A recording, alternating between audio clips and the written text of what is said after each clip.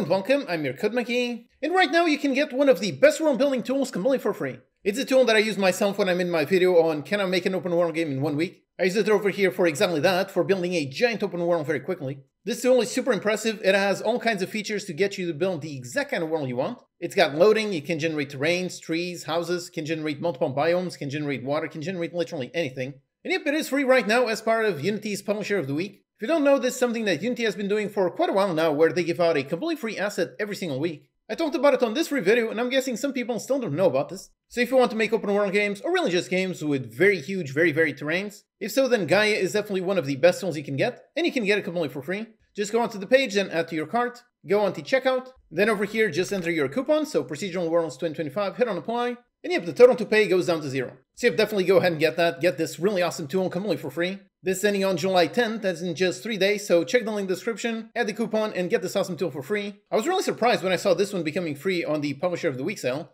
This is a really awesome tool, it is usually pretty expensive, so it's quite amazing that this one is completely free. Now technically there's a second tool, you've got Gaia Pro and Gaia, but for many use cases the original Gaia won't work perfectly fine. This one over here, you can build all kinds of really gorgeous terrains. You can have biomes, you can have some grass, some dirt, some sand, and so on. It allows you to build some truly gorgeous worlds and have all kinds of control over it. So yep, it's amazing how this one is completely free, so definitely go ahead and get it, don't miss it. And if you don't want to ever miss these free assets, I always write about them in my Game Dev Report newsletter. This is my newsletter that I write every single week with any interesting articles or game dev news that I come across that week. And on this one, on newsletter for this past Sunday, on this one, yep, I did write about how you can get the free world build tool. By the way, I've been hard at work on my upcoming free course. It is going to be on making a really nice lunar lander game. So it's got a bunch of physics, it's a nice 2D game, it's got sprite shapes, it has all kinds of interesting inputs. It also involves some interesting math to check out the landing detection in order to make sure you land at a right angle and with soft enough velocity. This is definitely going to be a really fun beginner project. Just like my previous free courses, there will be a free version over here on YouTube with all the video lectures,